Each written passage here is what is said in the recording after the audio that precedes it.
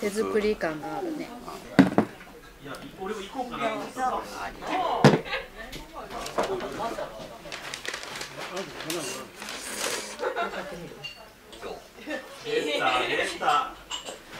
レンチン汁田舎そば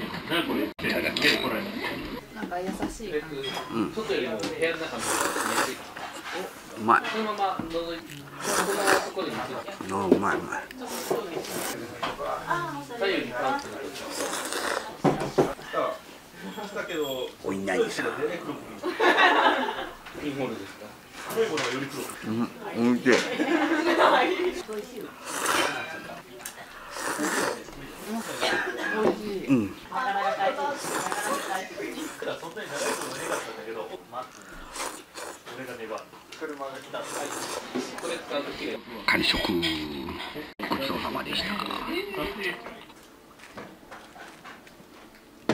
ごちそうさまでした。藤森さん。森藤？藤森？藤森さんのところで田舎そば食べてきました。優しい味で美味しかったね